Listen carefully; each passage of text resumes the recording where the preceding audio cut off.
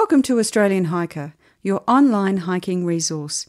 We're your hosts, Tim and Jill Savage.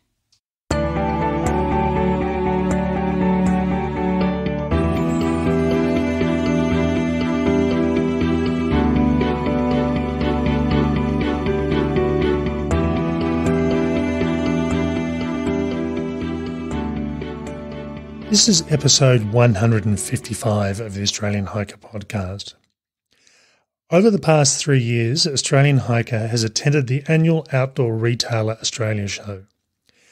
This show is a chance for Australia's outdoor wholesalers and manufacturers to showcase their new and existing products to Australia's outdoor retailers and allied media, and that includes Australian Hiker. Due to the pandemic, the show was cancelled in 2020, but rather than let the opportunity pass, we managed to catch up with a small number of suppliers just for an update to see how things are going. In today's episode, we'll be catching up with two suppliers. Now, there's been a couple of differences from the last three years that we've done this series of interviews. Typically, we had a fairly short period of time to catch up with the manufacturers and suppliers. Um, whereas this year, um, I ended up talking to each of the suppliers for quite an extended period, uh, both before and after the formal interview. Um, we had some quite in depth conversations about what was going on with the industry. Uh, and I was even privy to some new release product, which I can't talk about at the moment, but I'm certainly looking forward to once it actually hits the market. One thing we did find with these interviews is we had a bit more opportunity to talk a bit, bit more about the technical aspects of the gear. So, one of the interviews in today in particular, we spend quite a bit of time talking about technical things to relate to the product we talk about, and it makes sense uh, and it explains the reasoning for this product coming onto the market. And it's it's quite a it's an it's an educational opportunity just as much as anything else.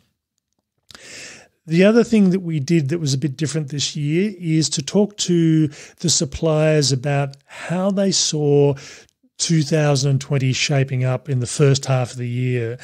Between the fires and the pandemic, there's been quite a, an impact on the outdoor industry, both on the wholesalers, the retailers, and us as hikers. Uh, and it's it's interesting to hear their take on how they saw things or how they've seen things go over the first half of 2020. One final comment I'd make before we do start listening to the interviews is that the outdoor industry t- seems to be reasonably cyclical, where there'll be a lot of new product come to the market in some years, and then in other years it's fairly light on. And in this case, um, we actually had a number of suppliers say to us that some new product which they were due to release, they've actually held off to allow some of the retail stores to clear some pre existing stock, which hasn't had an opportunity to move with a number of, of bricks and mortar stores being closed. So there is some new and exciting product coming to the market over the next four to six, eight months. Uh, and there'll certainly be quite a lot of new product coming to the market uh, in the next 12 to 18 months. So it's uh, it's interesting to see what is coming to the market this year. And there, as I said, there's some really good stuff. It's worthwhile looking forward to, particularly in the early part of 2021. We hope you enjoy.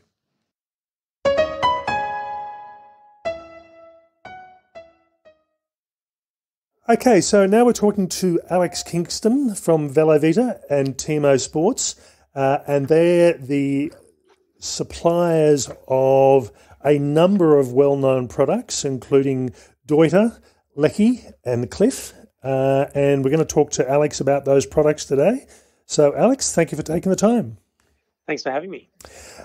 Okay, so let's start off with Leki. Now, I think a lot of people may be aware of what Leki are, but what is Leki and what do they do? Uh, so Leki are the biggest um, pole manufacturer in the world. So uh, they make uh, walking poles and trekking poles uh, and ski poles um, for for every market in the world. So Um, they're they're very big in, in ski. So if you're in the northern hemisphere and, and, did a lot of skiing, you'd, you'd know about them. But down here, we tend to use a lot more of their their walking and trekking poles. I must must admit, I didn't really think about ski poles, but it makes sense, yeah. I suppose. Yeah, yeah, definitely. Um, if, if you watch the Olympic cross country ski champions, they'll all be using Leki poles, as will the you know downhill champions as well. Okay, so what's what's new for Leki, and or what's what what sort of direction is Leki heading these days? Yeah, so Leki's had um, trekking poles in the market for for quite some time, and I guess uh, they're they're still ticking along very well with a lot of um, names like the Makalu and, and, things that we've had for quite a while. Um, but the new parts of the market is the trail running, which is which has had amazing growth in the last number of years. Uh, and Leki's brought out a new intermediary range uh, called the Cross Trail, uh, which bridges the gap between a, a, full trail running pole and a trekking pole. So we're looking at a folding pole, carbon um, that's uh, lightweight, um, has a lot of the trail running features with the grips, um, and and enables you to move fast with the pole. Um, but a little bit stronger and has a few more of the features of the trekking poles um, to make it a bit more comfortable if you're not actually uh, trying to run in a race. So, what actually on that on that topic then? What's what's the difference between a, a trail running pole and a, and a, trekking pole? I mean, I I've seen them, but you know, is there are they constructed differently, or is what what what is the difference? So in construction, you're probably looking fairly similar. Um, so you can have a folding tracking pole, a folding uh, running pole. Um, the top end running poles are all fixed length to be even lighter. Um, the different diameters of the poles uh, makes a difference. So um, the trekking poles are going to have a slightly wider diameter to make them a little bit stronger. The full running poles are going to be a little bit narrower and thinner to lighten them up a little bit. Um, the tip of the pole, uh, you know, a trekking pole is going to have a bigger basket and a bigger area so that when you're dealing with mud and things like that, it's got some purchase. Whereas the, the lighter running poles are going to have a much smaller tip that's designed not to get caught in things. Um, running poles are going to have a much thinner handle and a very small um, top of the handle, um, whereas all the trekking poles are going to have a bigger, um, rounder almost a ball on the top of the um, handle to enable you to put your hand on top of that and get some purchase off it as you're, you know, climbing some stairs or, or coming down something steep. Um, and then the the handles that you get on the trekking poles, they'll have a standard um, strap that just goes around your wrist, um, whereas the the running poles will have uh, more of a glove that clips into the into the pole itself and enables the pole to pivot off the space between your thumb and your first finger. Um, so you can get some um, the pole flicks a bit easier when you're when you're trying to get it to move. It'll it'll pivot off that point a bit easier. I must admit, I, uh, I, I saw it in some of the uh, the images that you sent me, and I thought they look really, really, really nice. It sort of looks like a, a good, comf- comfortable strap rather than the, the traditional band that most of the poles tend to tend to use for hiking. Yeah, and on the, the top end running poles, they're also designed that there's a clip you you can just pop the pole straight off your hand anytime you need to. So if you decide you you want to put it away, you can unclip it and fold it up really quickly and put it away. Um, but maybe leave the, the grip on your hand, and then when you get through the section that you might be trying to get through, or once you've had your coffee, you can um, you know clip it all back up again and keep going. Okay. So hiking wise, have they got any new and new and new Butte poles coming out in the, in the next uh, next year or so? Um, as for trekking, a pole range is, is fairly um, fairly standard and keeps just ticking along. Uh, just a few name changes and and, and color changes, um, but on the whole, um, they're kind of uh, continuing on. A few um, updates to the way the the folding poles um, clip and a few slight adjustments to make sure that they're a little bit stronger and, and a bit um, uh, get get rid of any issues that might have been there in the past. But um, on the whole, we have very good quality, and um, there's not a lot changing in the in the straight trekking poles. Um, but we are seeing a growth in the in the higher end trekking poles for us. Yeah. Uh, so up in your um, your your Micro Vario Carbon, which is your your higher end folding and adjustable uh, trekking pole. Um, uh, we have also noticed uh, in Australia and it is a worldwide trend as well that the, the anti-shock, which was a, a big thing a few years ago, um, a lot of people have moved away from wanting anti-shock and they're going just to a standard pole because of weight. Um, the weight consideration of the anti-shock does add um, a fair amount of weight to a pole, so they're they're wanting to get away from that and just go to a straight standard pole. I must admit, I I never ever tried a pair of anti-shock poles. I, I, I, sort of stayed with the, the, the simpler, uh, less moving parts, lighter weight sort of poles. Um, uh, yeah, and I mean, I think the idea looked good, but it just it was just something I never got into. So, um, mm. yeah, I, I, have used them, but uh, and they, they they can be nice, but yeah, like I say, the, a lot of people are going for the weight uh, the weight advantage these days. Yeah. Okay, uh, now moving on to Deuter. Deuter's well-known pack company, and I am pretty sure that's all they do. They don't make other products, do they? Uh, so they do. Uh, they do a range of sleeping bags, okay. both down and synthetic, that we currently don't um, support in the Australian market. Um, but uh, the bulk of what they do and, and their history has been in um, is in backpacks. Yes. Right. Um, and what's what's new for Deuter in the in the coming season? Uh, so in the coming season, um, we've got some uh, updates to our AC Lite series uh, and to the Futura series. So uh, a number of updates. Um, the, the biggest one that that uh, I think Deuter's most excited about is PFC free. So in fact, all our backpack range is now PFC free, and um, all our fabrics are now bluesign as well in the main of the backpacks. And that's that's saying it's environmentally friendly, is it, or? It is saying it's environmentally friendly. Um, Deuter is, is very conscious of the environment. Um, I think uh, in Europe they're a little bit uh, more conscious than uh, Australia might be at the moment, but um, and, and, in their purchasing decisions, a lot of um, Europeans will will make a decision on on the sustainability and environmental credentials of the company, um, and and Deuter is very aware of that. Um, so it, it, it does make a big difference. So um, 12% less output in greenhouse gases um, is being achieved by changing the fabrics around right. the way they have, uh, and obviously removing the PFC, which uh, which builds up in the environment. So we've been trying to get rid of that for quite some time.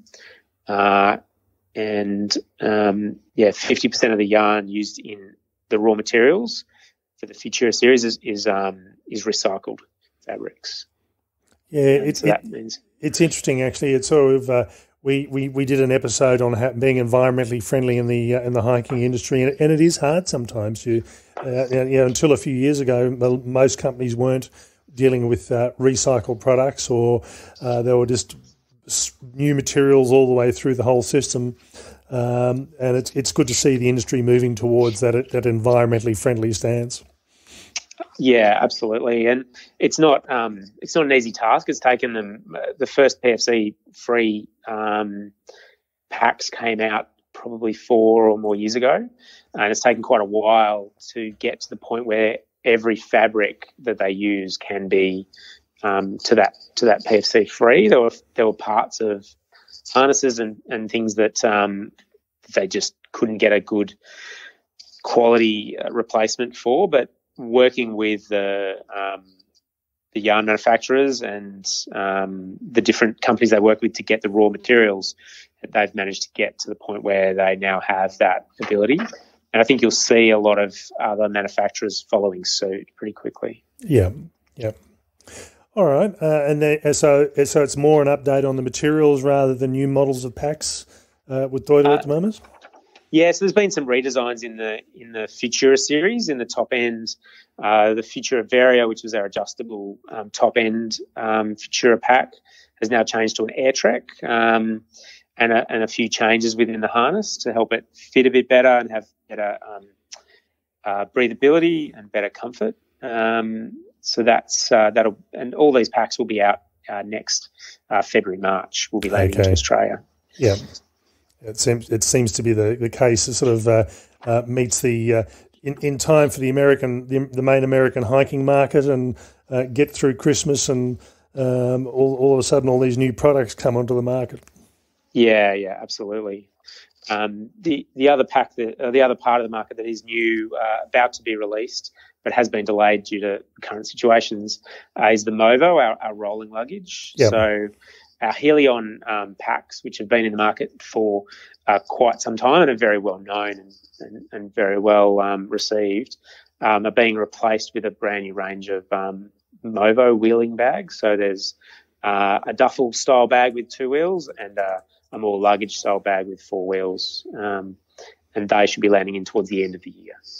That'll, that'll be interesting to have a look at. We've got uh, our two rolling bags, which are our travel bags, are Deuters. So, and we've had them for a number of years, and they've, they've been yep. really reliable and, and done a really good job. So, uh, yeah, yeah. So without a doubt, they're a Helion because it's been out there forever. Yep. Um. So yeah, there's options with harnesses and there's options without harnesses as well. So depending what you what you need, whether you want a backpack uh, version that wheels as well, or whether you need just a wheeling bag. Yeah. Yep. Yep. Um, and as you say, unfortunately, there's probably not of not probably not much airports use use at the moment for a lot of people. At least at least at least uh, away from the uh, uh, Australia, and even there, we the planes aren't flying too much at the moment. So no, not too much. So yeah, so we thought we'd delay it a little while before we get the stock in, um, but uh, they are due out the end of the year or early next year at the latest. So um, we're pretty excited about them once they get here, and hopefully we can all fly around using them soon. Okay, now moving on to Clifs. Now, everyone, I think everybody knows Clif bars, and, and if you if you haven't, I think people have probably only just started hiking because they're they're one of the mainstays of the uh, of the hiking and outdoor market. So, um, what's new new in the Clif range of, of bars and products? Uh, so we do. Uh, so nut butter has been out for a little while, and that's our, our newer bar uh, that's out in the market. That's a, a higher energy bar using using nut butter uh, inside the bar to, to give you a higher energy rating. Um, uh, so they're, they're quite a rich bar, but um, very good for, for giving you that that burst of energy when you need it. Um, we've uh, obviously got our standard range of, of flavors that, that run through, and there's there's quite a choice there now. Um, and then coming out uh, middle of the next half of the year, so in about in about three months, we'll get the Builders bars. Uh, so the Builders bars are our protein bar that's been out in the US for, for a while, and we've um, managed to get approval. For the biggest issue with with Clif, uh, their range is quite large, but we do need um, food health safety approvals for everything that comes into Australia. Yep. Um, so we've managed to get the approvals on the, the builders bars. So we'll have um, uh, three flavors of protein bar coming out um, later in the year, which will be quite exciting. That'll be good. I must admit, I, it's always hard to, to try and get protein when you're on the trail, and you know you can do it in the form of jerky and, and some of the uh, the meat based product, but you know, trying to get something that's that's a bit different in a, in a bar bar format, which is often what you get in the gyms is probably not a bad way to go. Yeah, it can be a good option for you. So, yeah, definitely, um, definitely excited to see that come out and change some things up. Uh, and then we've also got a bit of um, packaging changes coming through, uh, limited edition packaging.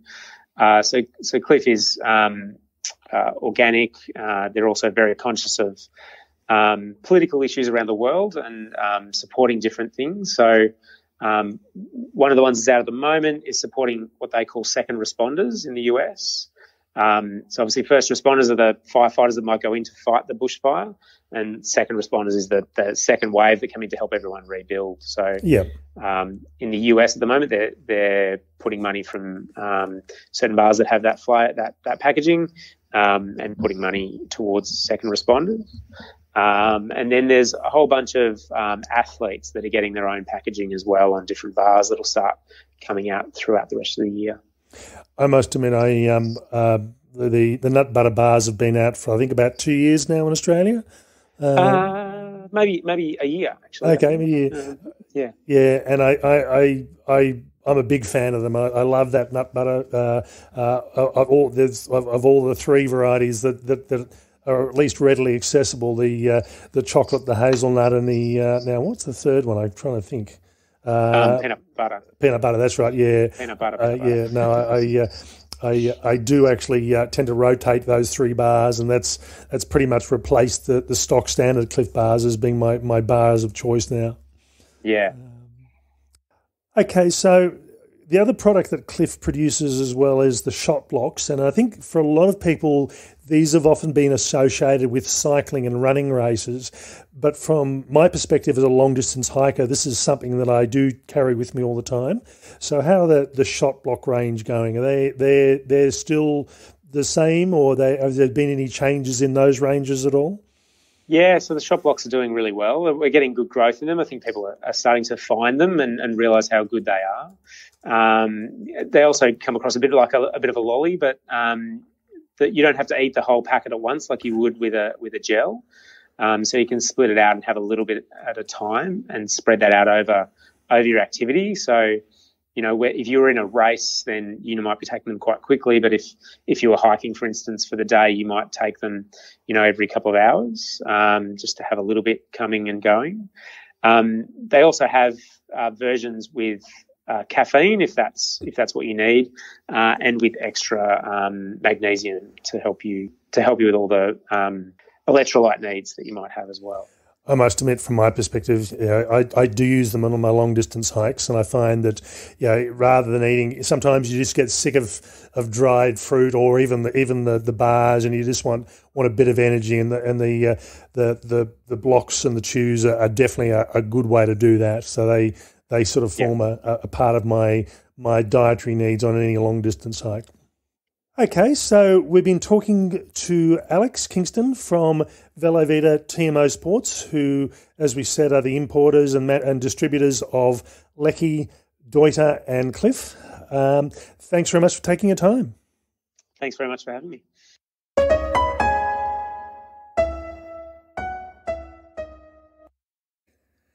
So that was our interview with Alex Kingston from Velo Vita TMO.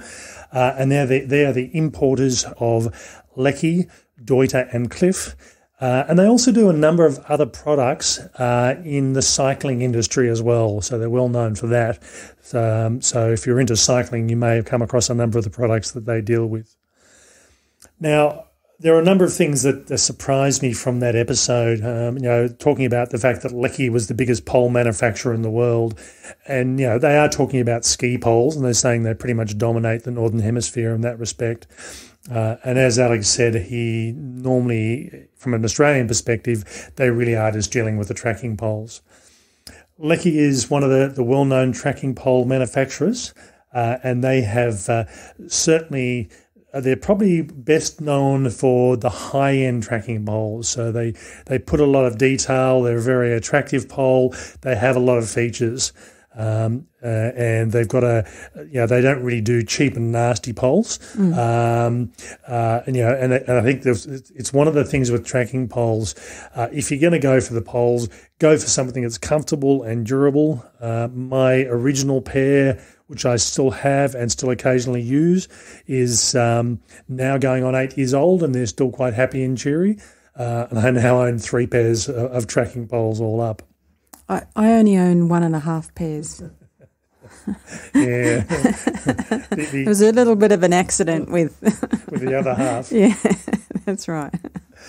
So, I think probably the biggest learning experience for me is, you know, Alex was mentioning that the one of the biggest upswings has been trail running, and certainly trail running has become more and more popular. And it's it, there has been a large uptake in the last sort of five years or so, where people are getting away from running around the streets to actually running out bush. And this is something that's taking off in Australia just as much as it is over in, in Europe or the US. Um, and he mentioned that there was a new cross trail uh, carbon folding pole that was due for release. Um, and um, uh, I, I, always am on the lookout for lightweight poles. Um, I have never broken a tracking pole at all in the in the sort of just over eight years that I've been using them. Um, I've come really close. I had the first time I ever used tracking poles was in Bhutan in 2012.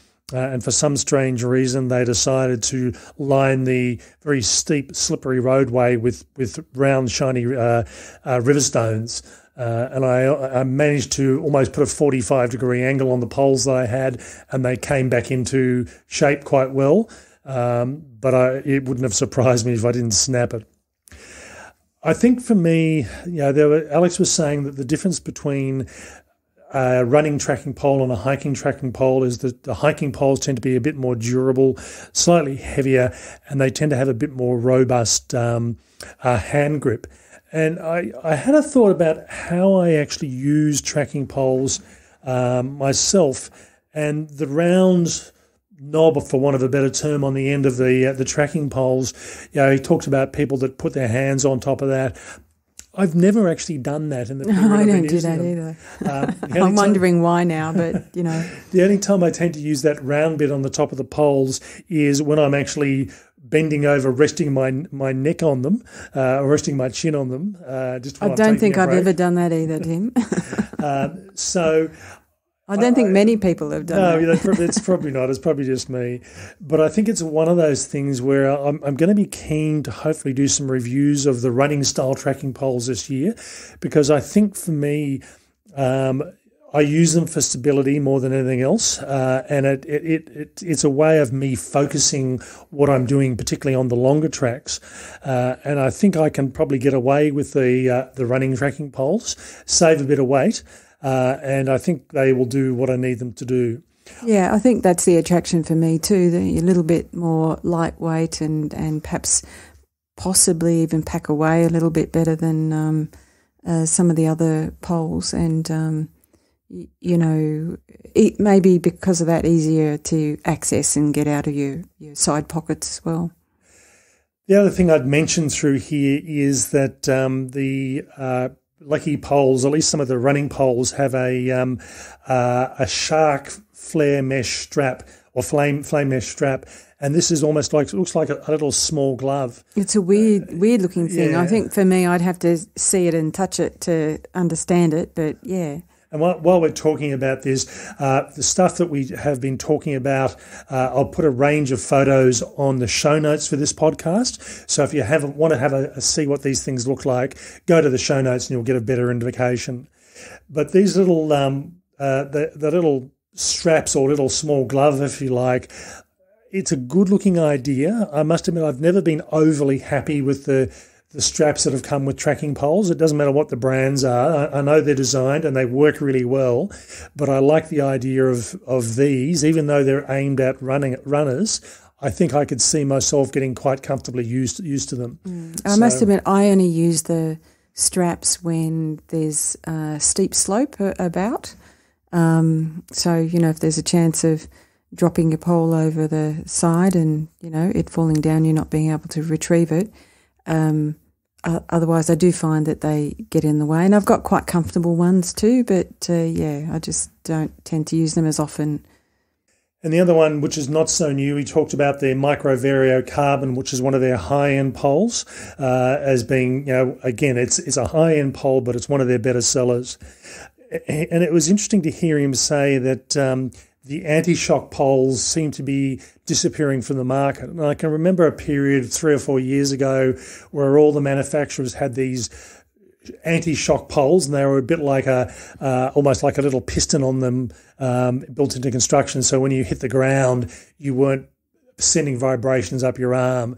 The idea is really nice, but the the weight that uh, impact that it had on them and the cost just sort of uh, obviously people didn't find them useful, uh, and you know you're you're hard pressed to find anti-shock poles in stores anymore. I think they pretty much have been phased out. Yeah, I think, you know, for me, it's about keeping it simple as well, you know. Yeah. Um, I must say though, so, some some of the I mean we've we've only got started on this um, this podcast episode, but uh, I, I love some of the names of some of these things and and and the features, and you know somebody must spend a lot of time dreaming some of this stuff up. But anyway, I think- just I think- aside. I think it's a bit like racehorses. Every name, every name's been taken, and they have to come up with something that hasn't been invented before.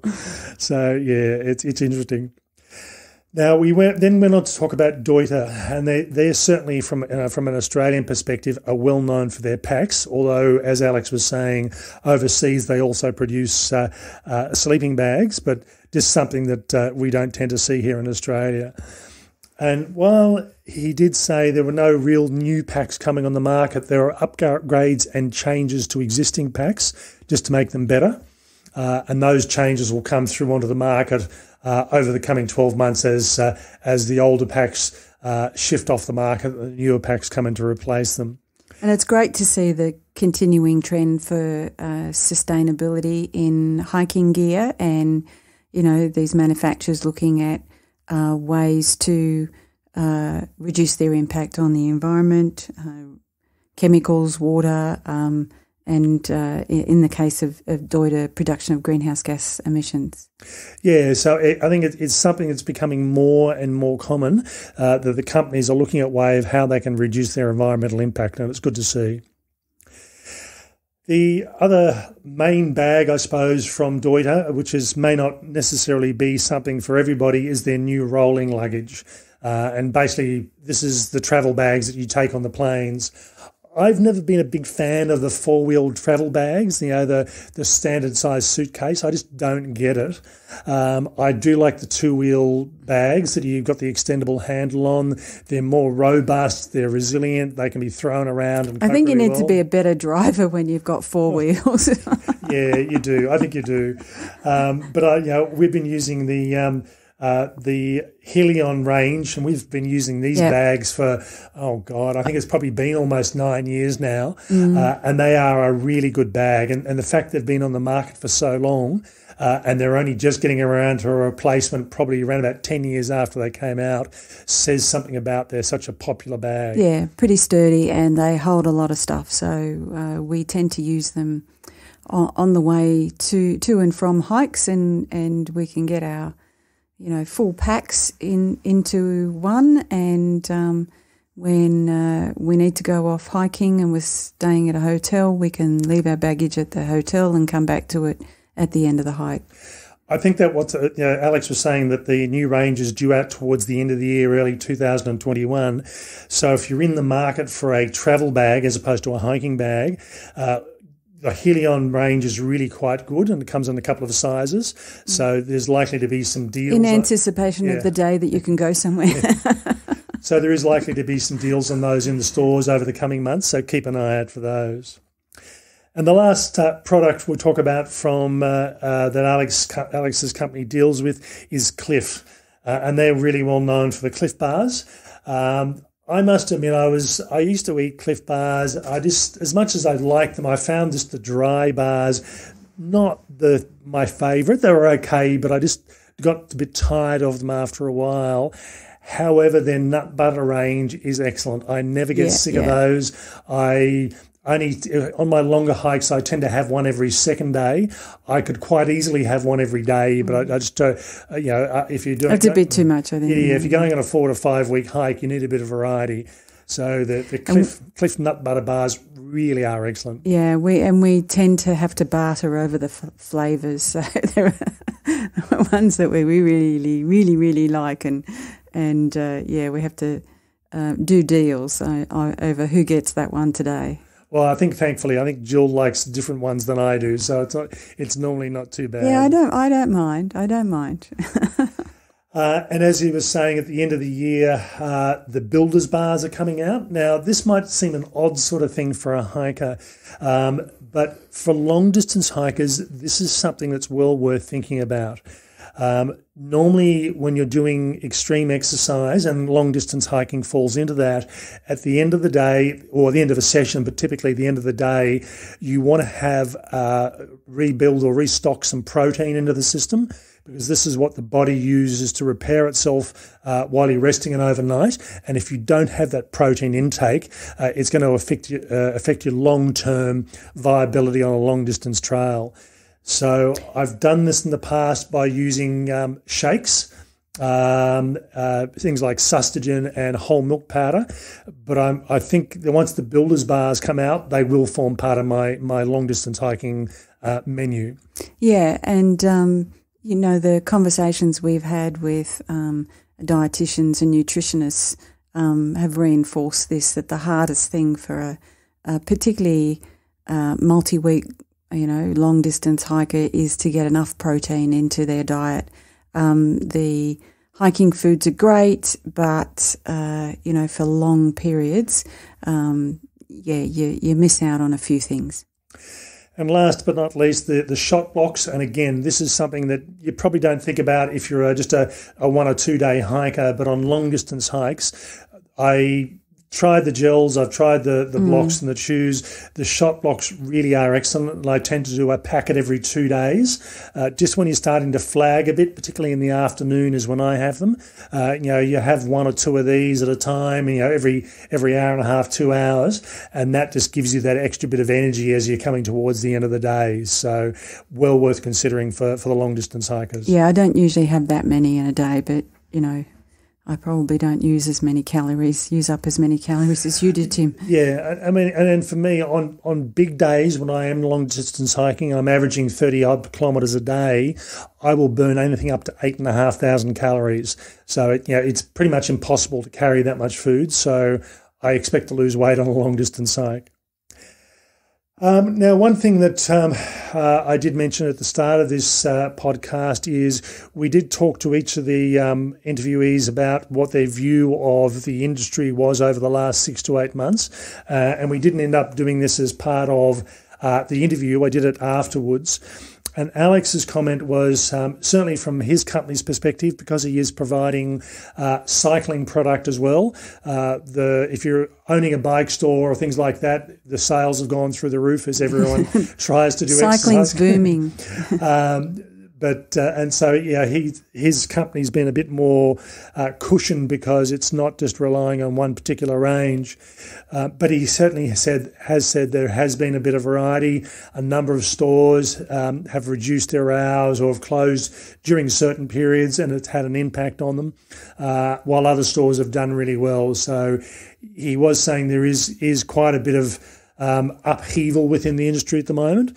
Uh, and I think probably the biggest comment that coming away talking to Alex from was um, there's a lot of stock that hasn't been selling. Uh, so I think uh, Alex made the comment that there has been some product they've that that was due to be released towards the end of this year. They've held off on.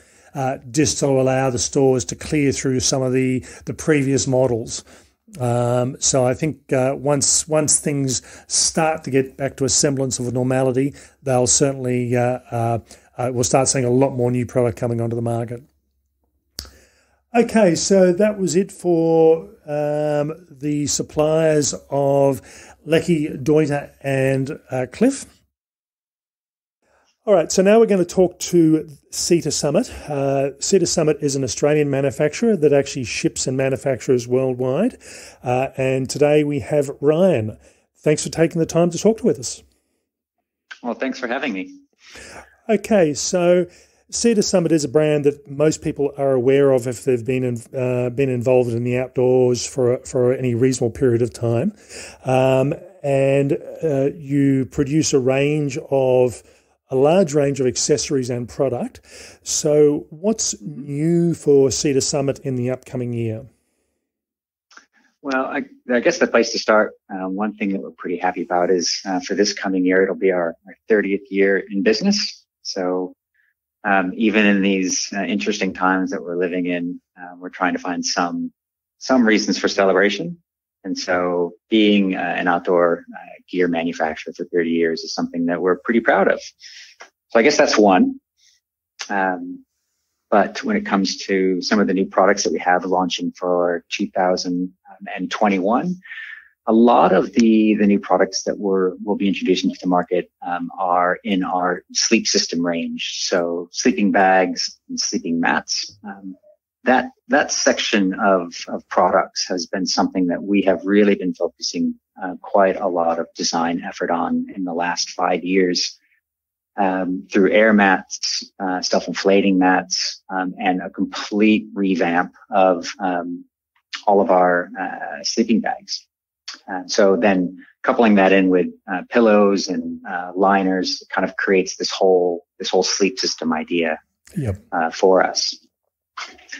And I, I guess to I've I've done a lot of clinics and I've talked a lot about sleep systems um, as a concept a lot, but and I think uh, sometimes people, you know, everyone always has this idea of modularity with you know putting gear together and what works best for everyone. But the idea of sleep systems is it's pretty simple actually. It's it's the same thing that you have at home um, in your bedroom. I mean, a sleep system is essentially a, a mattress, a sheet, a pillow, and then some kind of a blanket or duvet or something to keep you warm. And so for us, it's the same exact concept. We've just tried to obviously make it lighter and more compact, um, so you can actually carry it with you. So that that concept for us really informs how we we build product. So we want everything to work together. Um, so, for instance, pillows are meant to be able to easily attach to the mats, the sleeping mats, so that they don't go flying away in the middle of the night. Um, and then sleeping bags um, are actually for 2021. One of the things we'll be talking about is how you can integrate different styles of sleeping bags together to um, actually create a sleep system that's best for uh, the conditions you're going to be going um, out in. So that can be you know, extremely warm summer conditions, that can be cold conditions, and then everything um, in between. So how do you how do you select sleeping mats? How do you select sleeping bags? Um, and what options are available to you to make that um, that sleep system work for you for your trip? I think that's often the hard thing that um, if you're in a, a, fairly stable climate where the, the nighttime temperatures are pretty similar and that and that's all you ever hike in, it, it, it's pretty easy to dial in a sleep system that works. But for a lot of hikers, they'll be hiking in the middle of summer, in the in the middle of winter, and the temperatures might vary at nighttime, sort of 15 to 20 degrees. So yeah, the end result being that uh, quite often a lot of people will end up having potentially multiple sleeping mats, uh, multiple sleeping bags, and potentially uh, multiple liners, which which is what we have in our case. Yeah, I'm I'm guilty of the same thing as well. Granted, I work for an outdoor company, so um, I should. But ultimately, though, Tim, it's you know when you go on that trip, you have to pick one of them to go with you.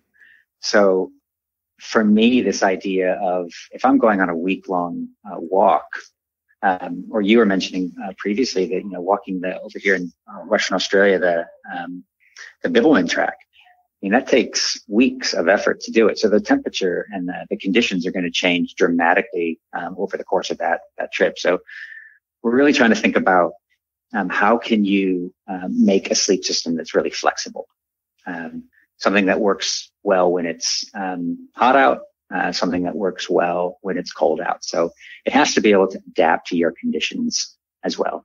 Yeah. So that's that's an important point for us, and also taking into account that everyone sleeps differently. Um, so my partner, she sleeps significantly colder than I do.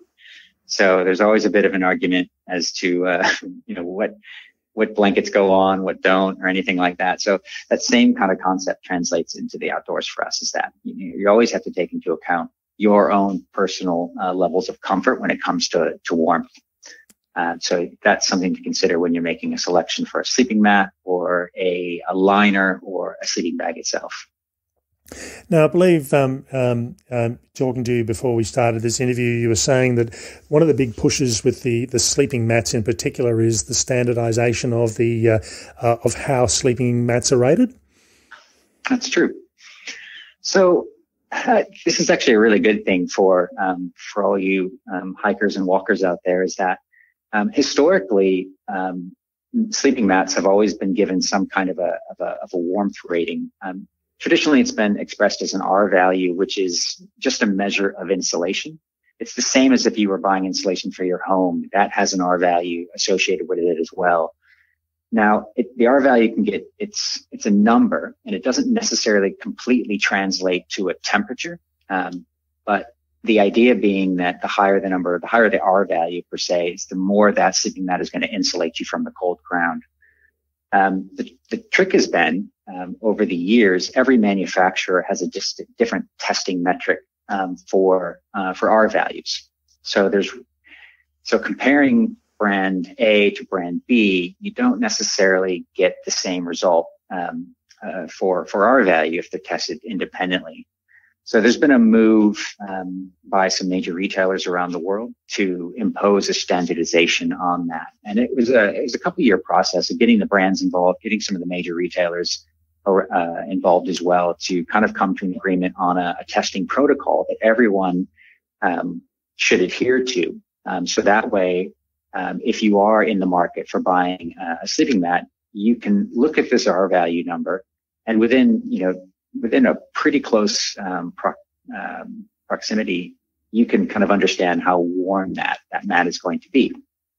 So now that this this testing metric has been in place, it's called the ASTM um, standard, and now that it's been in place for a little over a year, um, it allows the manufacturers now to um, readdress some of the products that they've they've had on the market. So, you know, when you're you say like with an air mat, um, you have lots of options to either add insulation or take insulation away, or change the type or the location within the mat um, to really tailor um, that uh, that mat's um, specific R value. So now that we've had some time to work with it, um, we've you know we've noticed all of the different um, the standards, the R values for our, the Sea to Summit range sleeping mats. And so for 2021, the one portion of it that we hadn't really uh, uh, had in the range was something that was meant for extremely cold conditions, or quite frankly, for people that really just sleep cold. Yeah. So yeah, so there's um, for 2021 we have a a, a new uh, range of mats. Um, it's called the Etherlite Extreme, and they're what's known as an air mat. Um, and there's two main channels with um, with sleeping mats, as I'm sure you're um, all aware, is that there's self-inflating mats and then there's air mats. Um, and self-inflating mats are have been around for decades, uh, and essentially, um, to really simplify it, it's it's a sheet of foam that has been covered with some form of either nylon or polyester with a valve on it. So you can roll it away, um, but when you open up that valve, the foam will expand and uh, draw air into the mat and uh, theoretically uh, self-inflate. Air mats have come on, um, you know, the last 10 plus years. It's really when it started getting going. Um, and that eliminates the foam on the inside. So you're reliant on the air pressure uh, the amount of air you put into that mat to create a stable structure. So they've there's been some wild variants of air mats um, over the years, um, and I think we launched ours maybe six years ago now. Um, and ours, the to Summit mats, are a, a little bit different um, in that they're the way they're constructed is with um, what we call air sprung cells. So it's much like a pocket cell um, or pocket spring mattress that you'd have at home. So there's individual um, air spring sprung cells on each mat. Um, there's no baffles. So if you look at mat constructions, typically they either have long uh, chambers of of, uh, of air. So there's either vertical ones that kind of look like um, what you'd use uh, maybe if you were to go to the pool and lay on something like that. There's horizontally um, baffled mats as well. Um, and then uh, the Sea to Summit mats uh, essentially are have zero baffles. So it's there, um, there's hundreds of little dot welds that create these individual air chambers. And what that does um, for the mat is it allows the air to free to freely shift and move about within the, the sleeping mat. Yep. Um, so what that allows is that you don't get this kind of trampolining effect. Um, it spreads your weight more effectively over a um, over the concentrated areas like your your hips and your shoulders if you're a side sleeper and it provides a bit more of a stable uh, sleep, and we find it to be a, a more comfortable way of sleeping. Um, however, um, you know, when you start talking about air mats as well, you know, it's that whole idea of insulation. So over here in uh, Western Australia, you know, we can get away with a almost uninsulated mat sometimes. Um, if the temperature is getting down to, you know, 28 at night and getting up to 34 in the day, if it's pretty stable, then, you know, you can, you can pick what you want. But by far the majority of mats that we sell, um, both in Australia and uh, globally, are insulated sleeping mats. Yeah. yeah. So, and there's different ways. So with this new ASTM standard, you're looking at mats that range from, and this is not just Sea to Summit mats, but everybody's mats. They range from just below one. So anything at zero, zero basically means there's no insulation at all. There's no, there's, it does nothing for you in terms of warmth all the way up to, I think there's some down mats on the market that, that get up to about eight, um, around there. That's, so anything that's, that's pretty toasty. It's really warm, actually. That's, that's pretty incredible. Um, and the trick is though, as you add insulation, we always have to be aware that somebody's going to have to carry this um, and pack it away. Yeah. So you, are always having this this balance between packability, lightweight, and insulation. Uh, so you're trying to find that happy medium. And most mats in the air mat area will come in between, you know, two as a at, at the low end for an insulated mat, um, up to about a five And that's anything above a three and a half or somewhere in that range. And this is where it gets a bit um, subjective based on, you know, uh, other other factors for for warmth. But anything around that two and a half uh, range is good for summer and um, some cooler temperatures that you would you'd get in most conditions around summer. When you get up to five, now you're getting into things that are acceptable for full winter conditions in the mountains um, as well. I think that's the, the thing with a lot of people. They'll they'll they'll often focus so much on the sleeping bag and spend a lot of money on the sleeping bag, and then buy a really cheap or really poor quality mat, uh, and not realize that if you, you need to balance both of them out, otherwise you're not going to get the results you want. It's really true, um, and if you think about all the trips that you've ever taken, um, if you're say again, let's go back to to walking the Bibbulmun track. I, I would bet you spend at least a third of your entire trip laying on your sleeping mat. Yep.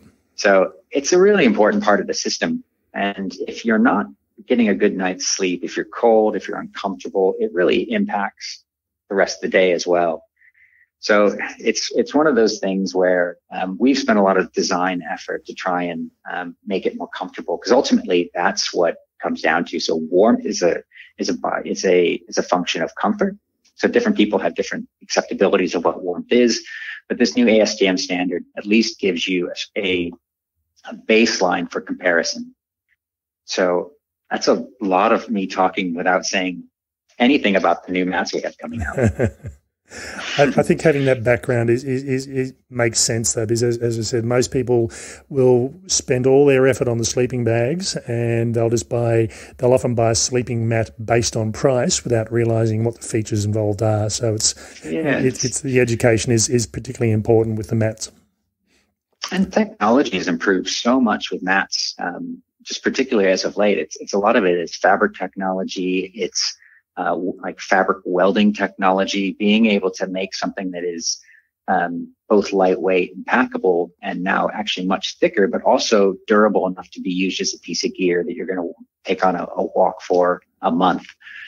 It's got to be able to uh, withstand not necessarily purely just abrasion from the outside, um, but also it needs to be able to um, uh, be strong enough and the bonds um, between the laminates of fabrics and all these different RF welding techniques that go in that it doesn't um, fail from the inside out. And that's actually probably the most important thing because if you find, if you get a hole in an air mat, um, it's a relatively simple process these days to fix that. I mean, the hardest part about it now is actually finding where the hole is. Yep. But once you do, um, there's a coating on the outside of the to Summit mats. Um, it's an acrylic coating that is specifically formulated to bond with a repair um, patch. So it's just a sticker. It's a, it's a 3M patch that you just peel the back off of, stick it onto the over the hole, and you know wait about 20 minutes and you're you're good to go.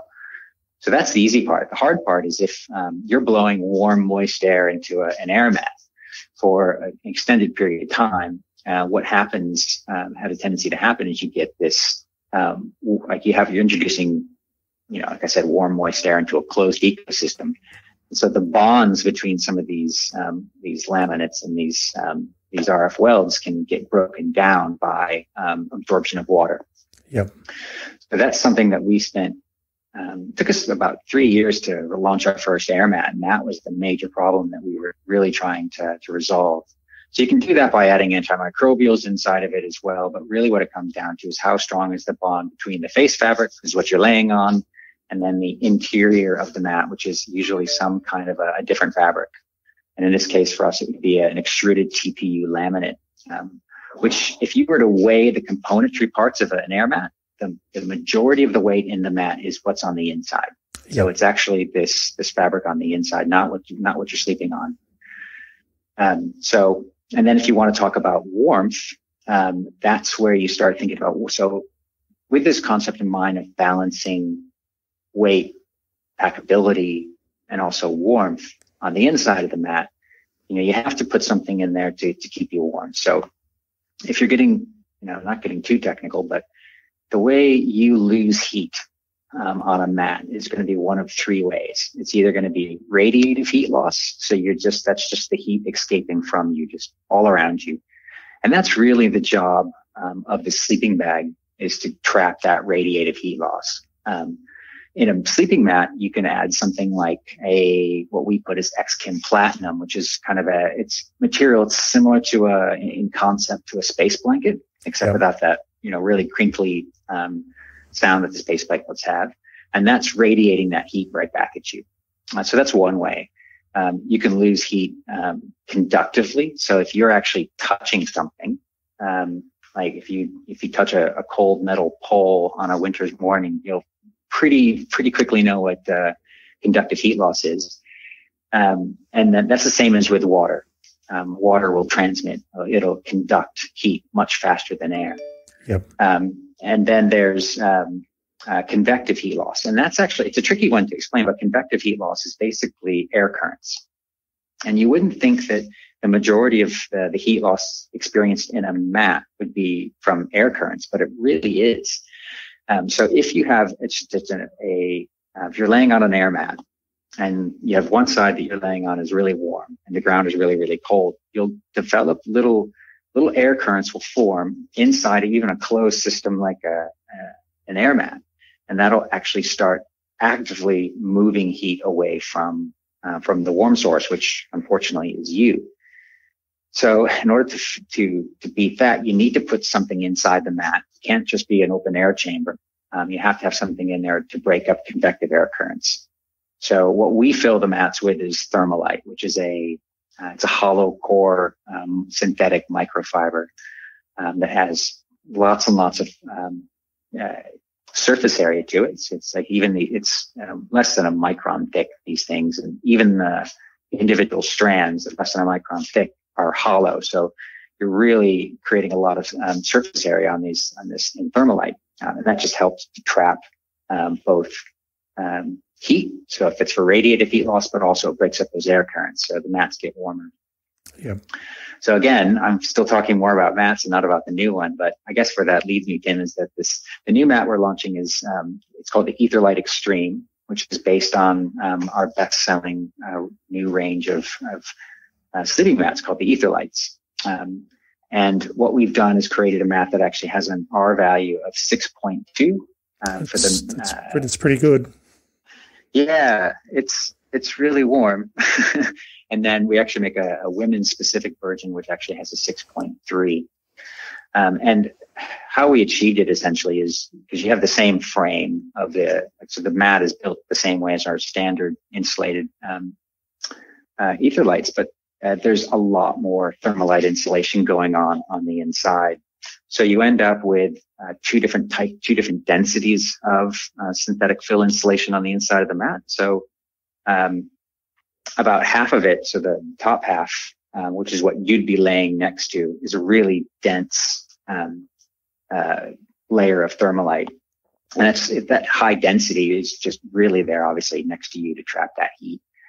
Um, and then essentially the, there's a, a, section that's, you know, next to the ground is a high loft. So it's not as dense, um, but it is there essentially to, um, to hold that really, um, to hold the, the, the, really dense layer of Thermolite up against you, but also to break up, to fill the entire mat and break up any of those convective air currents that could possibly form. So on that ASTM standard test, that's where we come back with, you know, 6.2 and 6.3. So that's going to be um, it's going to be something to consider if you really either get really cold or you plan on doing um, uh, winter style trips. So, so these these ones are really meant for when you say winter, probably more my snow conditions you're, you're looking at through there. Oh, yeah, no, this is and it's funny. Like with snow, um, snow is actually quite insulative. Um, so if you were to put a mat down on snow itself, it's not the worst. It's, it, it sounds horrible, but it's actually warmer than um, putting a mat down on on cold rock. Okay. And that gets down to that that conductivity of the of the surface that you're actually laying on. Um, so traditionally, in a in a like if you were going, uh, even heaven forbid, if you were going to go do a, a, ski traverse in Antarctica, um, traditionally what you have to do is you bring two sleeping mats. You bring a closed cell foam mat, um, which generally speaking, be there's a bunch of brands out there, but I guess um, the Ridge Rest is a, um, a good example of that.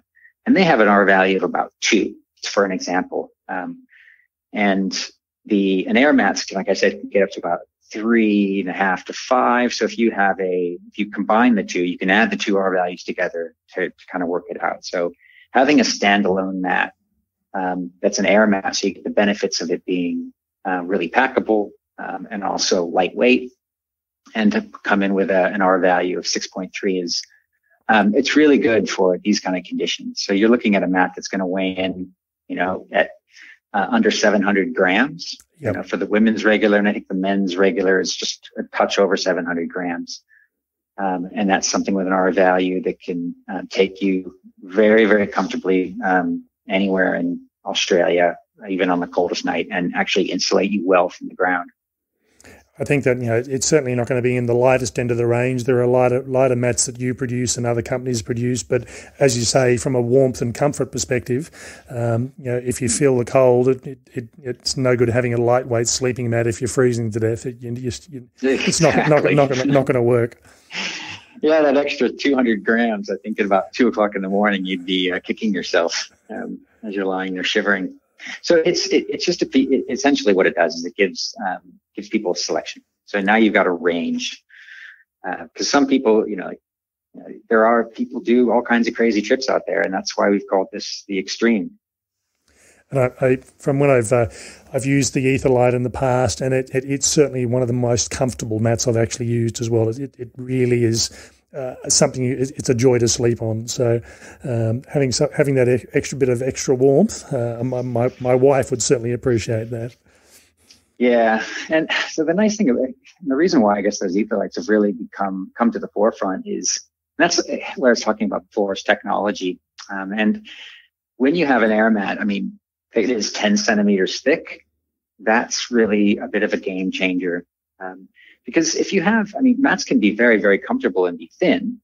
Um, the difference being though is that you have to put a lot of, of air pressure into it in order to support you off the ground. Yeah. So the thinner the mat, the harder the, the higher the air pressure. So if, if, if you're somebody who likes a firmer mattress, you know, then that's great. It works for you. Um, I'm a side sleeper.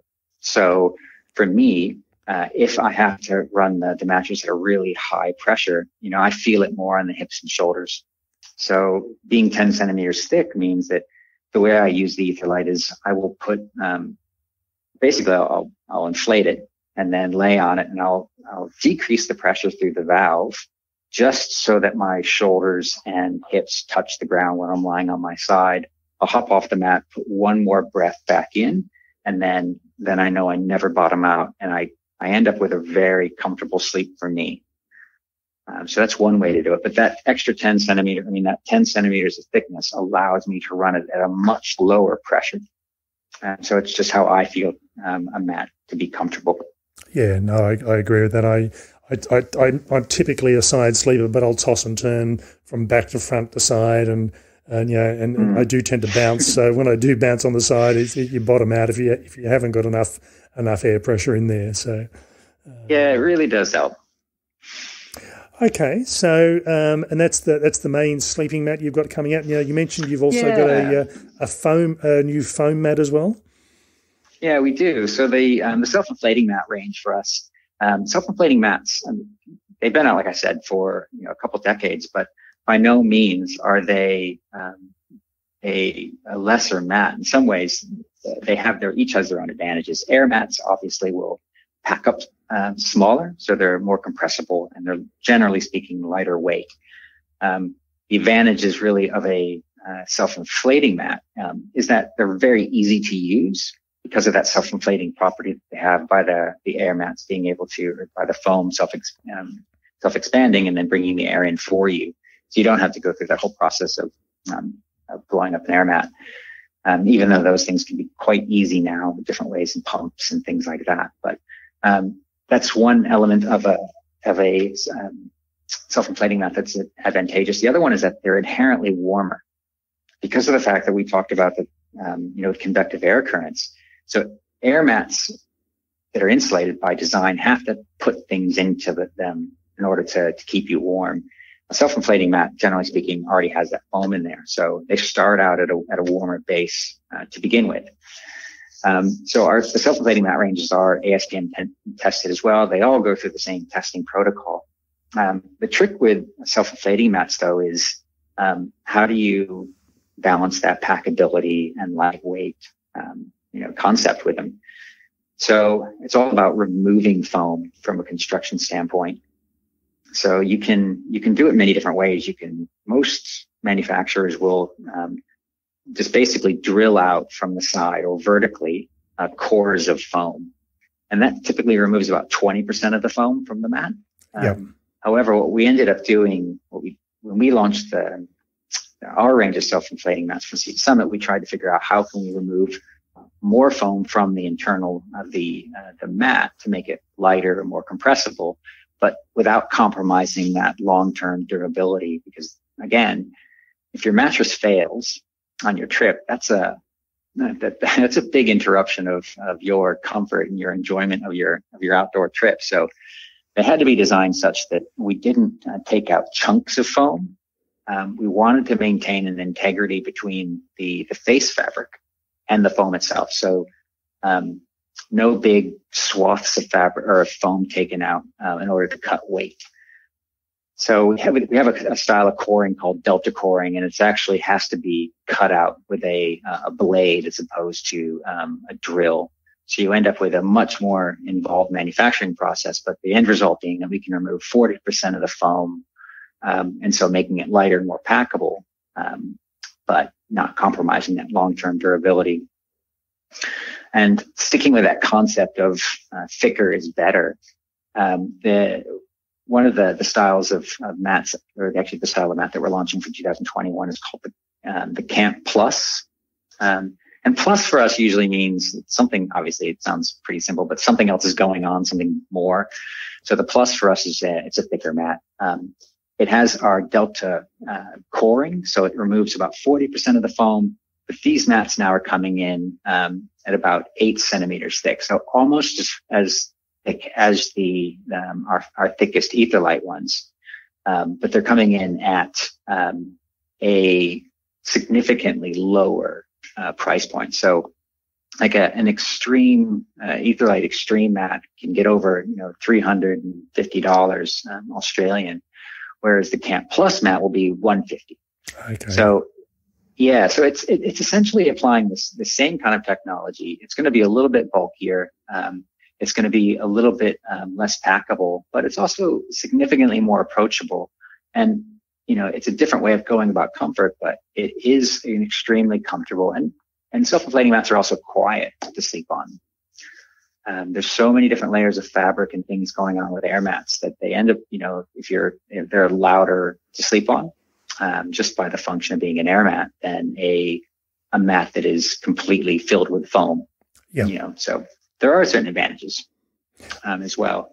So that's another one to look for in 2021, which is a um, an eight centimeter thick um, mat. It's going to weigh in.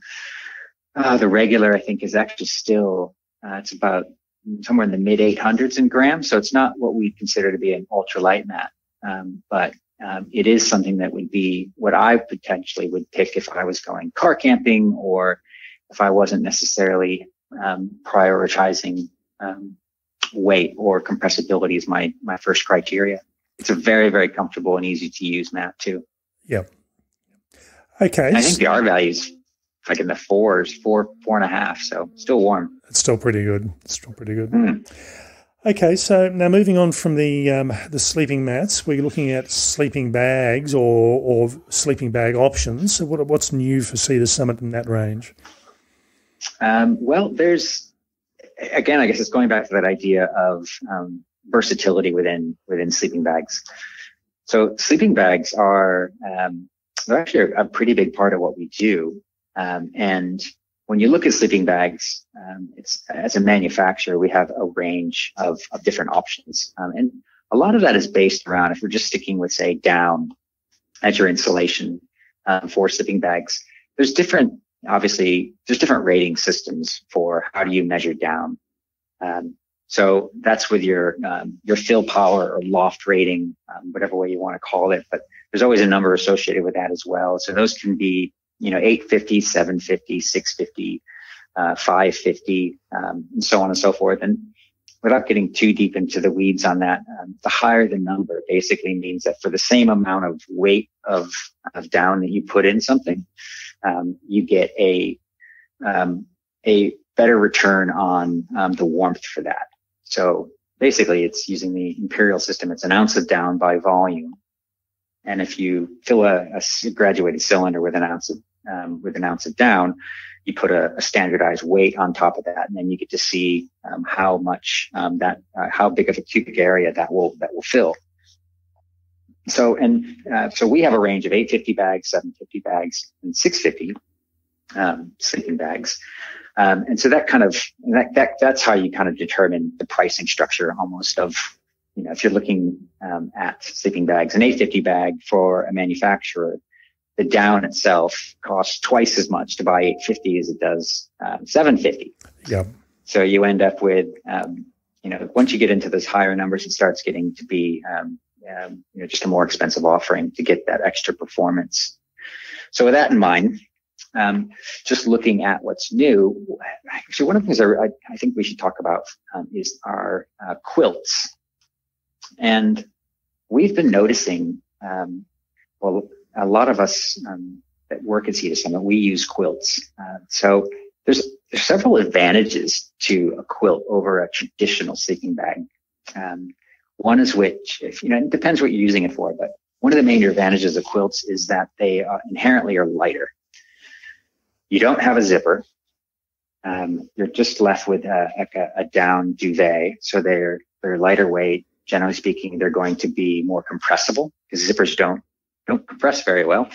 Uh, they're going to be a little bit less expensive, um, mainly because of all that extra construction that you have to do with the zippers and things like that for sleeping bags.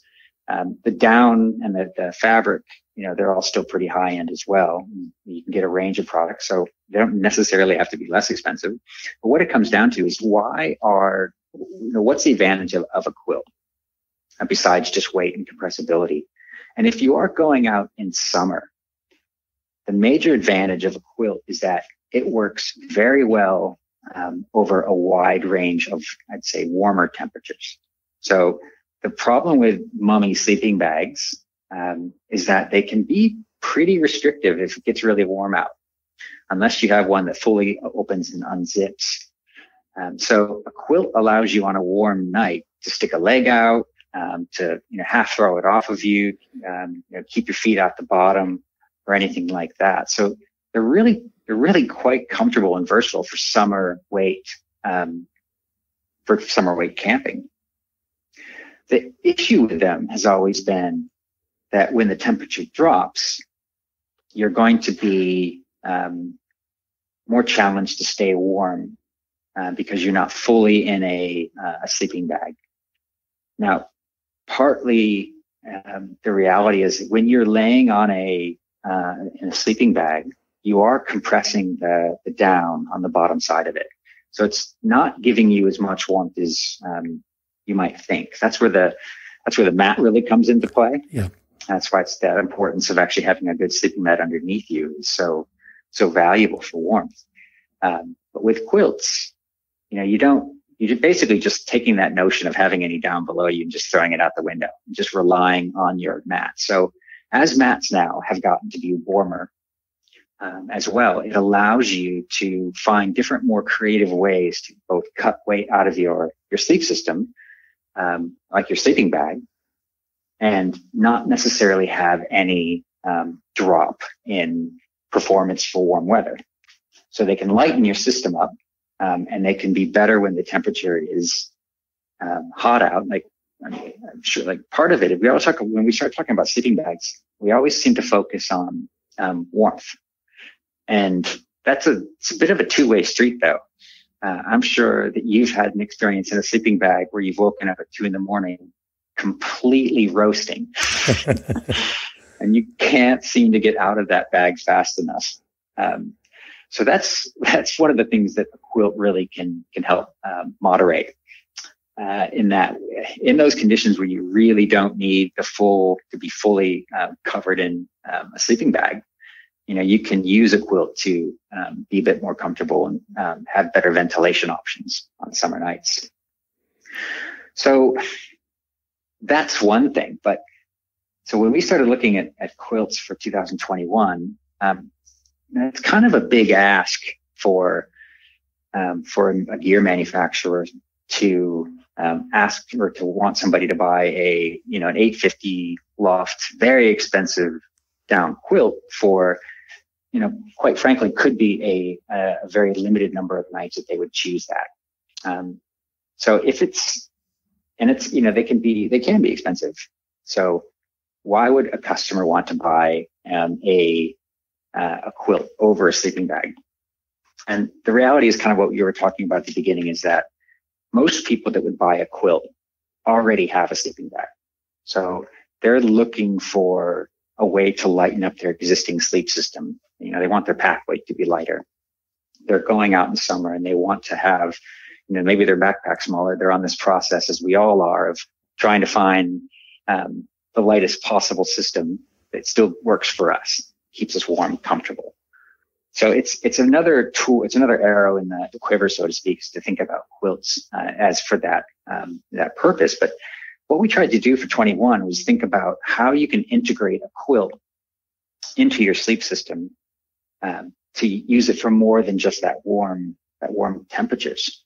So what we what we've actually done with this uh, with the quilts is that we've made them so that you can actually integrate them over top of your your existing sleeping bag, whether it's a, a Sea to Summit one. We make it really easy to integrate with the Sea to Summit ones, but you still can integrate them with any brand's um, sleeping bag out there. So what that means is that you get in your normal sleeping bag, um, and then you can actually attach the quilt so it stays on top of the bag. So it doesn't, it won't shift off or anything like that. And it's not really done with, um, you have the ability to strap the, the, the quilts, um, over the entire sleep system. So around the mat on the bottom, um, over the sleeping bag itself. So you can actually significantly boost the warmth of a, um, of a existing sleeping bag. Um, so if you had a, a bag that was rated down to say like, you know, five degrees, and then you have a quilt that's rated, um, you know, have a comfort rating of maybe down to you know, 15 degrees or something like that, or 10 degrees. I'm kind of making these numbers up. Um, essentially, by stacking them together, um, you can dramatically um, increase the warmth of that sleep system. Yeah. So, so now what I'm it's kind of removing this idea that this barrier that if I just get a, a quilt, it's only going to be good for just for uh, warm conditions. So now you can kind of pick and choose what you want to take with you. So, if you're just saying you're going out on a, a two night quick overnight, and you're going extreme, extremely light and fast, you know, you can just, you know, grab the, grab the quilt. You know, and you already have your good mat, so that kind of takes care of the insulation on the bottom side. And then you have this, you know, a perfect little sleep system for, for warmer conditions. If it's the mid kind of range and you're unsure, then you, you reach for your sleeping bag. You know, then if you're going to be going out um, something in winter or in a colder condition and you need to have a combination of both, then you can. You can quickly combine the two um, and it's a heck of a lot less expensive than buying a, a third additional sleeping bag. Um, and it's just, it's a way to um, make your existing gear uh, work um, over a, a, wider range of temperatures. Just trying to be more adaptable. Yeah, so it's, it's so it's pretty much layer, layering your sleep system as opposed to layering your clothing. You, you, you're not just you know the old the old the old traditional method, I suppose, is you'd have a sleeping bag uh, liners have become more and more common and more popular over the last sort of five to ten years, uh, and now yep. we're, now we're layering again with a uh, an additional warmth layer uh, and building on a, a, system that gives you the versatility. Exactly, um, and I mean that's precisely it. Uh, so it, it's giving another um, option um, for building a, a sleep system that is both versatile and comfortable. So you've you've already had um, you've had the range of Ember quilts over the last few years. So is this a, just a, yeah. a, a revamp to that range, or is it a new range that's coming out? Well, so the a couple different the things. The the Ember range um, has had a few uh, updates to it in order to make it so it can uh, basically so it can be layered into a, an existing sleep system. So it'll have a couple additional snaps. Um, so there's uh, snap systems that allow it to snap into the foot and to the um, the, the basically the the head just below the the hood of the sleeping bag. So there's a way to really quickly attach them to Sea to Summit bags. Um, yep. They've also changed their strapping system so that the straps now have gotten wider. Um, they also have a fast release buckle, so you don't have to thread them anymore. Uh, so that allows you to have um, uh, just an easier way to to use the quilt. The snaps also can be used to go around your neck to kind of create a neck gaiter if it gets really cold. Um, so you can actually snap that quilt almost like a, a poncho around you yep. um, as well. So that's that's the 850 range. So those are our premium quilts. Um, we've also launched a. This is what's brand new for 2021. Will be the the Cinder uh, quilt, and the, the Cinder essentially is using 750 plus um, ultra dry down.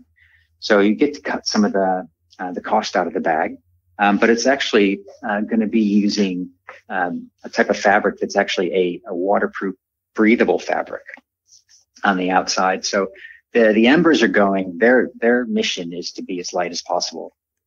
So they'll have a, a seven denier and a, and a 10 denier fabric. So seven on the inside, 10 on the outside. Yep. And that is for just to be as ultimately lightweight as you can possibly get.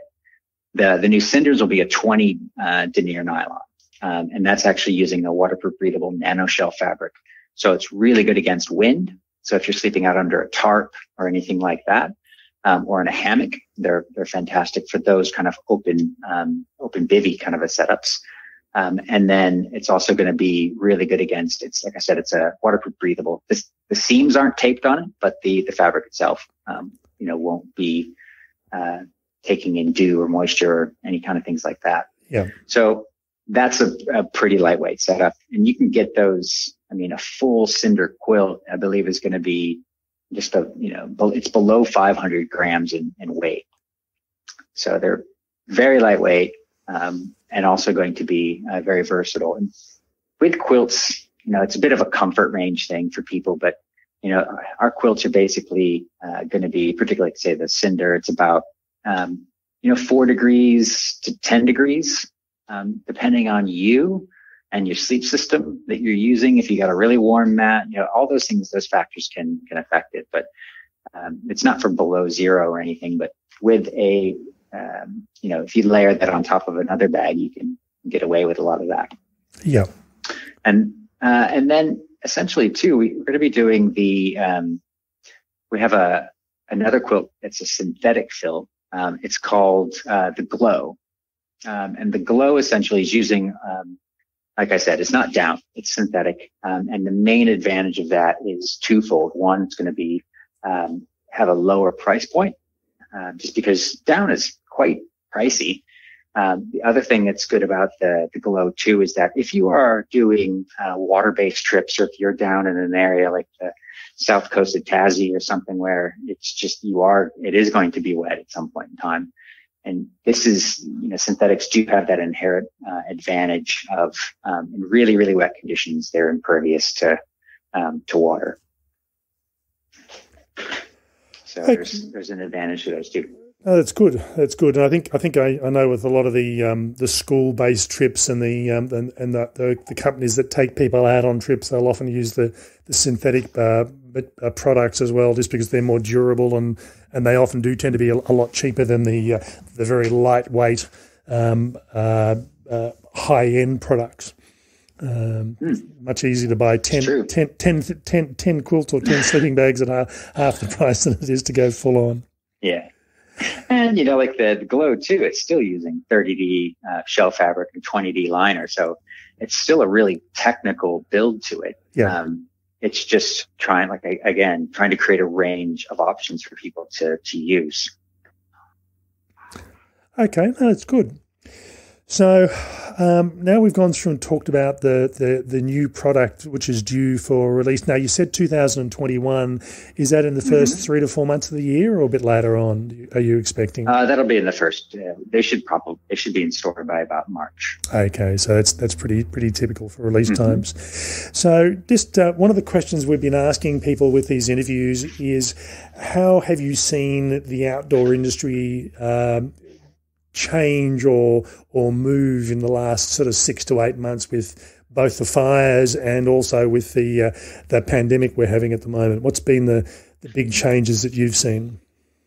Oh, it's this is this year's been the, the most change I've ever seen in my I guess it's 20 yeah 24 years of being in the outdoor industry. This this this season this year has been absolutely crazy. Um, I don't think we've ever seen anything quite like it.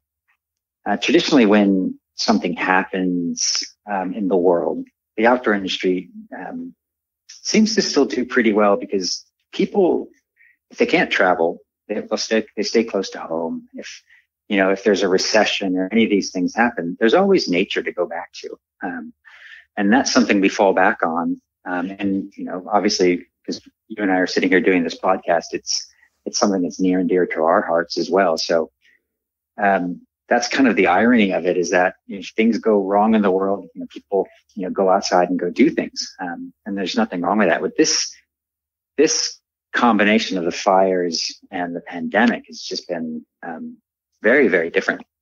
People are still getting out, um, from, I, I can, even when we were on lockdown, you know, you're just sitting there planning away and, you know, working in my garage on, you know, fixing up my gear and just getting ready to go back out and just pouring over maps and books and things like that. But as an industry as a whole, it's, um, as a manufacturer, it's, it's very different times. Uh, so, you know, a lot of manufacturing um, happens um, on a global scale. So it's, it's been very difficult to develop product. Um, it's very different to, because what we end up doing as a manufacturer is we'll, go through multiple, multiple iterations of a, of a product before we're ready to, to launch it um, to the uh, to the market. So that whole process really slows down. Um, so that's a bit of a challenge. Um, the other thing is that um, you know when stores are shut, retailers, um, uh, your you know, your local outdoor st- store is you know is shut and can't open that can be challenging as well because um, those are the outlets that we that we move our our products through, and those are the people that we've been partnering with for years and years. So we want to make sure that they're um, going to stay in business. Um, so if you haven't done it done so already, support your local outdoor store. yep. Um, uh, both through their experience, because uh, they're the ones that actually can help you uh, select the right gear. Because they get, I mean, I'm, I'm I work for Sea to Summit, so obviously my focus is, um, you know, Sea to Summit. But uh, the people at your local shop, they they get to look at Sea to Summit, they look at all the other brands, and they can really have a discussion with you on what what works best for for you and your trips. Um, so it's been really challenging, and so we, um, you know, there's lots of products that we're not launching for 2021 um, because essentially by doing so, we would make existing products that are in uh, outdoor shops right now obsolete. And, um, it's not necessarily the time to be doing that. So we're trying to take a longer uh, term approach to this. Like I said, we've been in, in, business now for 30 years and we plan on being in business for the next 30. So, um, that is, uh, that's kind of an overarching theme for, uh, for this next year is, um, that's what we're, we're trying to just focus on what's, what's new and what's going to make what what products can we launch that are actually going to solve problems? Yeah, yeah. So it's it's not just um, you know putting products out because we, we think we can you know make a dollar by doing so. It's really trying to figure out what's something that a, a hiker or a kayaker or a bike packer is really going to need on their trip. What what what is out there that we need to improve upon?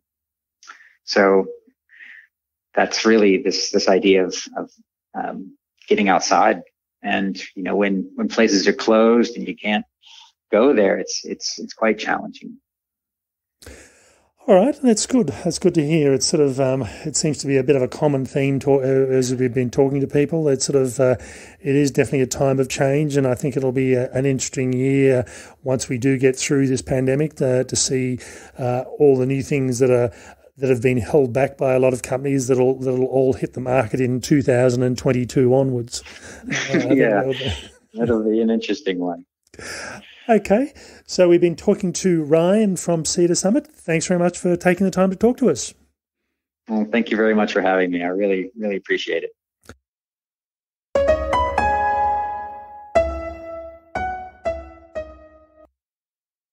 Okay, so that was Ryan Seacrest, and for those of you that are probably in my age bracket, that name probably rings a bell as a, Poor guy. a, a, a, DJ on the top forty out of the uh, the US. Um, but yeah, I, I did ask ask him if he was the same person, so he said he gets that all the time. Now, Ryan made a couple of uh, interesting comments, and I I hadn't really thought about this, but Sea to Summit turns thirty years old or 30 years young. Uh, and as an Australian company that was started uh, all those years ago, it's still growing strong and they're producing product that is now shipped worldwide. Um, you go to the States, you go to Europe, and you will see Sea to Summit product.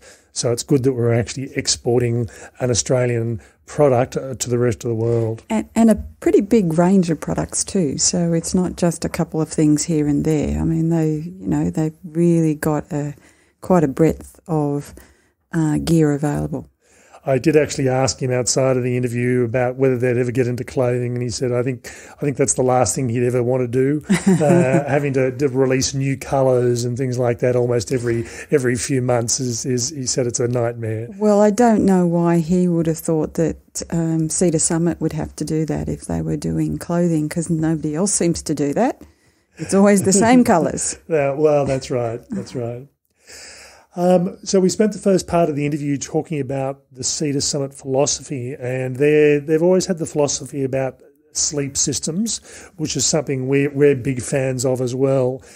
That you're not just looking at a sleeping bag, you're not just looking at a sleeping mat, you're not just looking at the clothing, it's everything that goes together.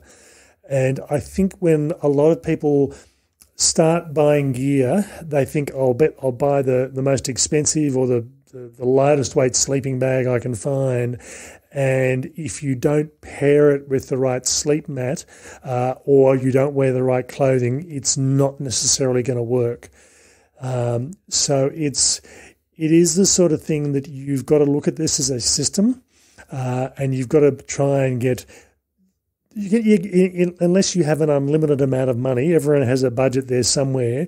You're going to have to try and choose the lightest, the cheapest, and the product that is going to suit your needs that you can afford. And it might mean a um, not spending so much on a sleeping bag, but getting a better quality sleeping mat uh, to make the difference. So it really is worthwhile thinking about that. Ryan talked about their new range of sleeping mats, and that's the Etherlight Extremes. They've had the Etherlight mats out for um, it's probably been about 12 to 18 months now. Uh, they are a very comfortable mat. Uh, we had the opportunity to test one um, in the last year, um, and they're not the lightest sleeping mats on the market, but they are a very, very comfortable mat. Uh, and this is often the issue that um, the fixation with getting the lightest. Um, there is a trade off when you're doing something like this, and it's a trade off between weight and comfort quite often. Uh, and getting a good night's sleep, yes, you need to be warm, uh, but you also need to be comfortable as well. Uh, and that can make a big difference. So sometimes going those extra few grams in weight can have, be a big impact. Yeah, it is a bit of a compromise, and uh, I think sometimes you have to decide what's more important to you. Um, uh, someone did say to me uh, a while back that after a few sleepless nights, you're probably going to be okay on the fourth night. You'll sleep anywhere because you're that tired. I'm not sure if that kind of holds up, but uh, yeah, so. Uh, that, that, was actually an ex army officer who'd obviously slept in uh, some pretty ordinary places. Um, yeah. So Ryan was saying that the Etherlight Extreme was a, an R value of 6.2 uh, and the women's version, which is an R value of a 6.3. Um, and typically females do feel the cold uh, more readily than males do. It's not just an imaginary thing, it's a physiological thing. So typically the women's sleeping bags will often be a bit warmer and often shorter as well and slightly different shape. The sleeping mats will be the same. They tend to be slightly thicker, have that bit of extra warmth um, uh, to get the, the same degree of comfort that, that, a male will do with a lesser rating of mat and sleeping bag. And those ratings are pretty high, though, aren't they? I mean, there, there's not many on the market with such a high. No, there's there's not really. At the moment, I think there's probably um, with these two on coming onto the market, there's probably only about three uh, on the market that are in that sort of category, and these will keep you toasty warm in snow conditions. Um, um, but the other thing to think about as well, and I hadn't thought about this, Ryan, as someone who's coming from the States and coming from snow conditions, he was actually saying that snow is an insulator. Um, sleeping on cold rock with a, a sleeping mm-hmm. mat or cold ground will often suck the heat out of you more so than sleeping on snow.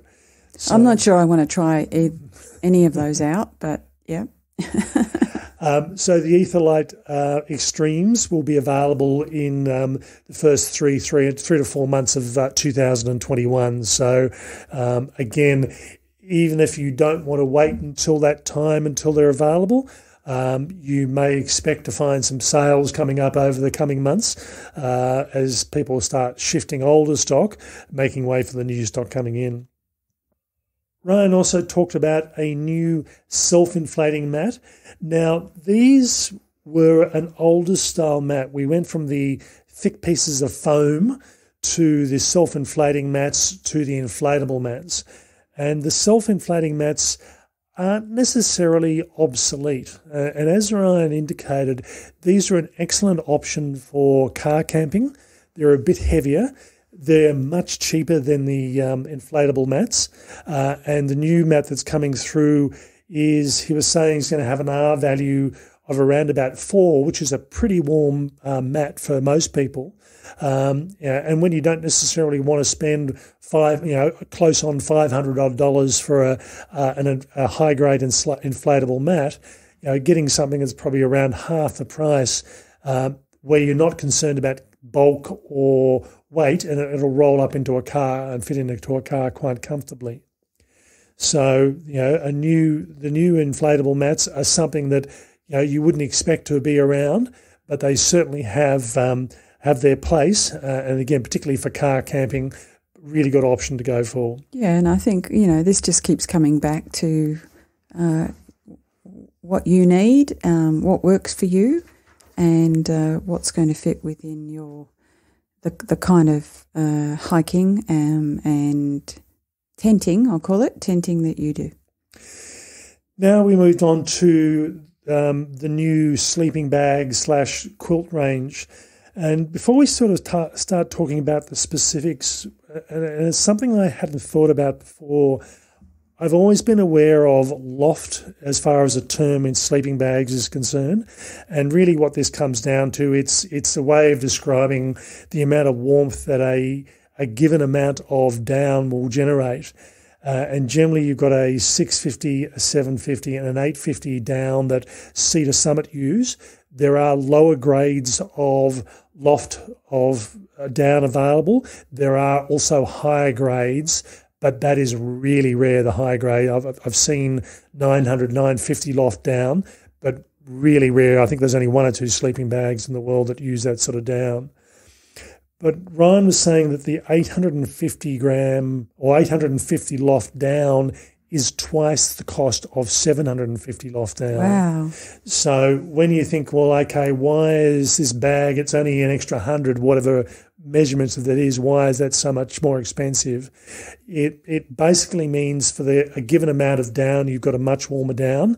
Uh, so the really high-end, expensive bags that pack down to you know the size of a large grapefruit, basically, um, they that's a big grapefruit. It, it's a big grapefruit, uh, but it's it's it's something that you know it's if you're looking for the lightest weight and the warmest, you go for the 850 gram or the 850 loft bags. If your budget doesn't quite stretch that far, the 750 loft, and then you've got the 650 loft, which again is cheaper as well. Uh, cheaper and not as warm. Not as warm. So yeah, it, you know, the value for money is there, but you are going to have to pay for it.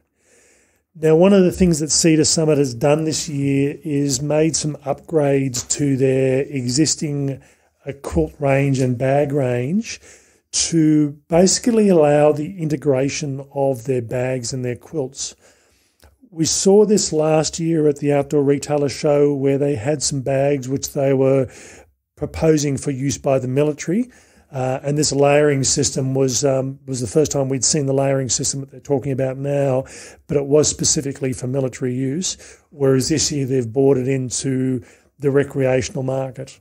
And the aim is that just with a few adjustments and a few changes and a few uh, additional press studs, you can add a quilt to an existing sleeping bag or another quilt and double it up. So it's like adding a, a blanket, a second blanket on top of your bed at home. That that additional layering increases the warmth. Gives you a bit bit more versatility as well. And that's that's the thing with it is it's really about layering your sleep system. So rather than having a sleeping bag that will keep you toasty warm in minus 10 degrees Celsius, it's not going to be particularly helpful in the middle of summer when it's 30 degrees at night time. You know, it's not going to be useful at all. But the idea of getting a, a lightweight quilt that keeps you warm in sort of 10 to 15 degrees temperature that you can add on to a sleeping bag that might be a you know a two or, a one or two or a zero degree sleeping bag to carry you through the really cold conditions in wintertime. So it provides a degree of versatility and it provides a new way of thinking about how you can sleep at night time. Uh, now, again, if you're traveling fast and light, you may go for the most expensive sleeping bag you can get. Um, but if, if, the temperatures vary dramatically, um, it, it, makes it a bit hard to get a good night's sleep. Sometimes you need to have something that's going to keep you warm when it's freezing, but also not roast you when it's uh, when it is hot. Uh, and we recently had a car camping trip where my minus four degree sleeping bag, I was way too hot and I was having my leg and my arm out just because it was too hot because the temperature didn't get as cold as I expected. Yeah, I wasn't. so the new quilts that they've got on the market now, um, they've got the they've upgraded the Ember range, which is their 850 down range. They've now got the new Cinder range, which is a 750 down range. The material or the fabric that forms the inner and outer shell is a bit thicker, a bit more durable, uh, and as a 750 loft quilt is going to be a bit cheaper. Um, and then they've also got uh, a new Glow range, which is a synthetic quilt. Now, synthetic bags traditionally have been used by outdoor um, organisations that take you camping and hiking, uh, schools, because they they tend to be a much more durable sort of product. They don't tend to pack down as small as um, the down bags or the down quilts do. But the, the advantage they do have is if a synthetic quilt gets wet, it's still going to keep you warm. So if you're in conditions where there's a chance your sleep system is going to get wet, that's where the synthetic range tends to come in. So in Europe, as an example, much more common than it is here in Australia, where we expect most of our nights to most of our camping to be dry. So Sea to Summit, as I said, most of their their range is focused, or the new range in the coming year is focused on their sleep system, the quilts, the sleeping bag adjustments, uh, and the sleeping mats are all new product that should be on the market by sort of approximately March next year. So keep an eye out for those. We talked to um, Ryan about where the industry was heading or the impact of the industry today. Uh, was due to the coronavirus and the fires. And probably the takeaway from this, and this is something that we all need to think about, is uh, a lot of stores have, been closed or have had reduced hours, or people have not gone into them. And I went into a, a large shopping centre today uh, to pick up a new Wi Fi modem, and I've never seen this large shopping centre as empty as it was. It, it just amazed me. So I think a lot of retail stores are struggling. Uh, so buying local uh, or buying from an Australian store as, as opposed to buying online from overseas. Um, I think you know, if we can, if we are in the market, and we have the ability that we are buying new gear, think about supporting your local stores. Yeah, I think that's important. I think also uh, get get to know what's happening in your uh, local market. Um, one of the things you were saying today, Tim, was that the a lot of the stores were opening uh, much later in the morning. So, you know, it was eleven o'clock uh, opening time. So get to know what they're doing. Don't think that they're closed, or don't think that they're not interested. They're just trying to, um, I, I, guess, provide the service um, and minimise the cost by not being open the, the length of times because people are not visiting to the extent that they used to be. Um, but if we visit, then they will. They'll, you know, extend their opening hours, and uh, you know, at some point, things might go back to normal. I'm not quite sure what normal is anymore, um, but we definitely need to support them to help them do that.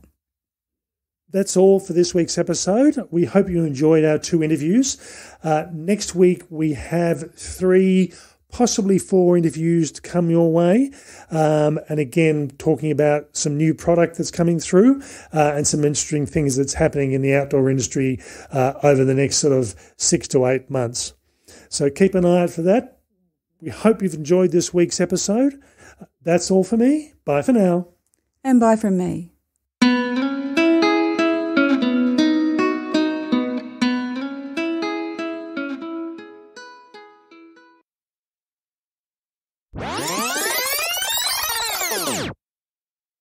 Know, sometimes you do need to have something that is going to keep you cold when it's freezing um, or warm when it's freezing. Sorry.